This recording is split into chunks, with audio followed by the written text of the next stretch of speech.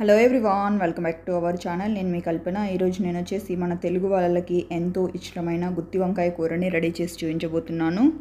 ఇక్కడ వీడియోలో చూపించే విధంగా కనుక గుత్తి వంకాయ కూరని రెడీ చేసి పెట్టారంటే ఇంట్లో ఎవరైనా సరే లొట్టలేస్తూ తింటారు. అంత టేస్టీగా వస్తుంది. తిన్న తర్వాత మిమ్మల్ని ఖచ్చితంగా మెచ్చుకుంటారు. అంత టేస్టీగా ఉంటుంది.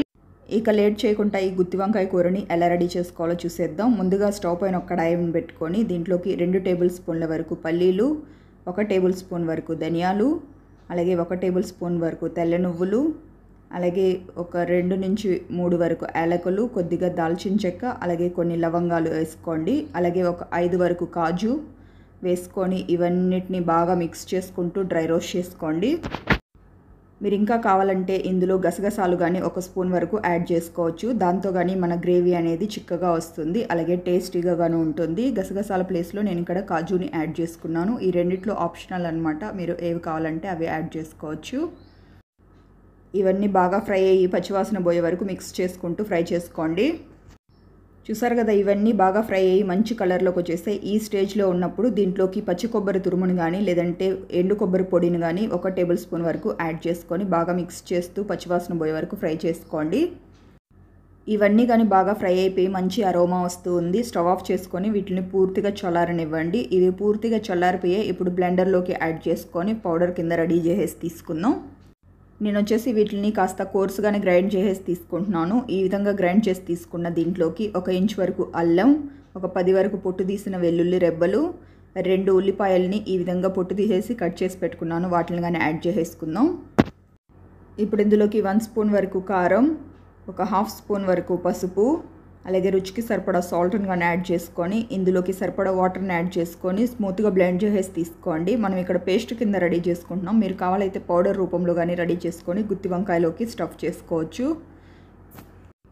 ఈ విధంగా పేస్ట్ కింద రెడీ చేసుకున్న దీన్ని ఒక బౌల్లోకి ట్రాన్స్ఫర్ చేసుకొని రెడీగా పక్కన పెట్టుకుందాం. చూడ్డానికి మనము ఇడ్లీ దోశల్లోకి తినే చట్నీ లాగా ఉంది కదా. దీంట్లో కానీ మీరు కొద్దిగా పోపును ప్రిపేర్ చేసుకొని వేసుకున్నారంటే దాన్ని ఇడ్లీ దోశల్లోకి కానీ వాడుకోవచ్చు. చాలా టేస్టీగా ఉంటుంది. ఈ గుత్తి వంకాయ కూర కోసం నేను ఇక్కడ వచ్చేసి హాఫ్ కేజీ వరకు నల్ల వంకాయలని తీసుకున్నాను. ఈ ప్లేస్లో మీరు కావాలంటే తెల్ల వంకాయలైనా తీసుకోవచ్చు. ఈ వంకాయలని ఇక్కడ చూపిస్తున్న విధంగా నాలుగు పార్ట్స్గా కట్ చేసుకొని వెంటనే సాల్ట్ వాటర్లో వేసేసుకోండి. ఇవి వచ్చేసి బ్లాక్ అవ్వకుండా ఉండడానికి సాల్ట్ వాటర్లో వేసి పెట్టుకోవాలి. వీటిని కట్ చేసుకునేటప్పుడు ఒకసారి మధ్యలోకి చూసుకోండి. పుచ్చులు ఏమైనా ఉంటే వాటిని తీసేసేయండి. ఇలా కట్ చేసుకున్న వంకాయల్ని ఒక్కొక్కటిగా తీసుకొని దీంట్లోకి ఆల్రెడీ గ్రైండ్ చేసి పెట్టుకున్న స్టఫింగ్ని పెట్టేసుకుందాం. ఈ స్టఫింగ్ని పెట్టుకునేటప్పుడు వంకాయని ఒకసారి ఓపెన్ చేసి నాలుగు వైపులకి ఈ మసాలా అనేది బాగా స్ప్రెడ్ అయ్యేలాగా స్ప్రెడ్ చేసేసి తీసుకోండి. సేమ్ ఇదే ప్రాసెస్లో మిగిలిన అన్ని వంకాయల్లో కానీ మసాలాని స్టఫ్ చేసేసి తీసుకోండి.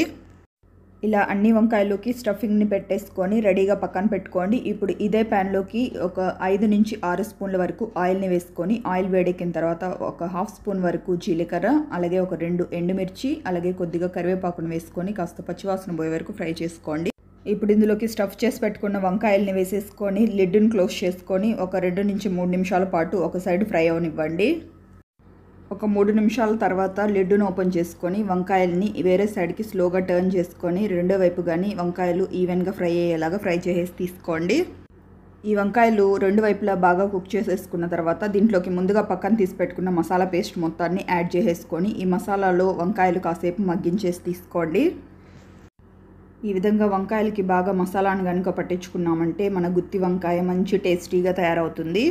పైన లిడ్డును క్లోజ్ చేసుకొని ఒక ఐదు నిమిషాల పాటు లో ఫ్లేమ్లోనే కుక్ చేసేసి తీసుకుందాం. ఒక ఐదు నిమిషాల తర్వాత చూసుకున్నట్లయితే చూసారు కదా ఆయిల్ బాగా పైకి తేలుతూ ఉంది.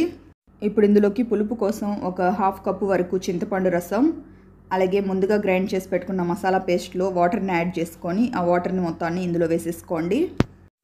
ఈ చింతపండు రసం అనేది ఆప్షనల్ అనమాట మీకు ఒకవేళ కావాలంటే యాడ్ చేసుకోవచ్చు లేదంటే స్కిప్ కానీ చేసుకోవచ్చు. కొద్దిమంది పులుపుని ఇష్టపడని వాళ్ళైతే స్కిప్ చేసేసుకోవచ్చు. ఇష్టపడే వాళ్ళైతే యాడ్ చేసుకోవచ్చు.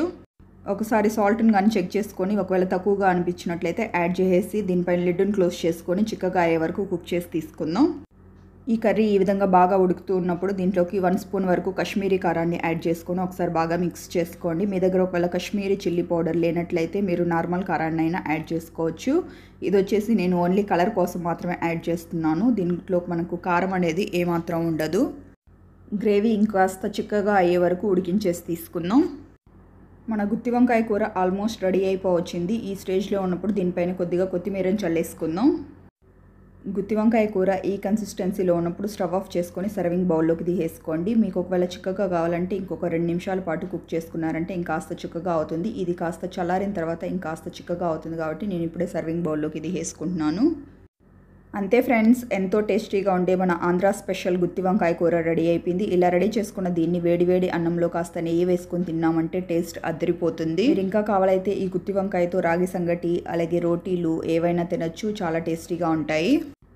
ఫ్రెండ్స్ మనం టుడే చెప్పుకున్న ఈ గుత్తి వంకాయ రెసిపీ అయితే మీకు నచ్చిందని అనుకుంటున్నాను. మీకు కనుక నచ్చినట్లయితే ఒక లైక్ చేసి మీ ఫ్రెండ్స్కి రిలేటివ్స్కి షేర్ చేయండి. ఇలాంటి మరెన్నో క్విక్ అండ్ ఈజీ రెసిపీస్ కోసం వెంటనే మన ఛానల్ని సబ్స్క్రైబ్ చేసుకొని పక్కనే ఉన్న బెల్ బటన్ని ప్రెస్ చేసి ఆల్ అనే ఆప్షన్ని సెలెక్ట్ చేసుకోండి. ఇలా చేయడం వల్ల ఇకపై నేను పెట్టే వీడియో నోటిఫికేషన్స్ అన్నీ మీ హోమ్ పేజ్లోకి వస్తాయి. Thank you for watching friends. Okay bye.